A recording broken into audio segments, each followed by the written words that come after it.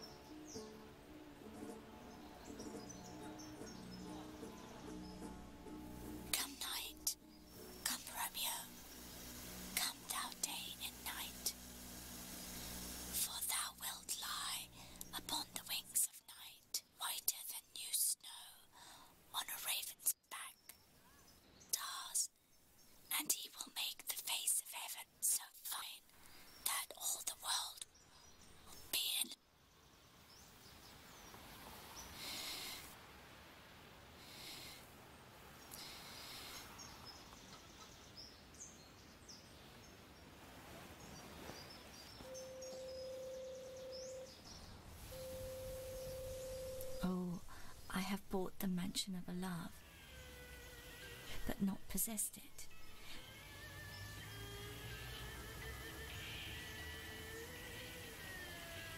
And though I am sold, not yet enjoyed,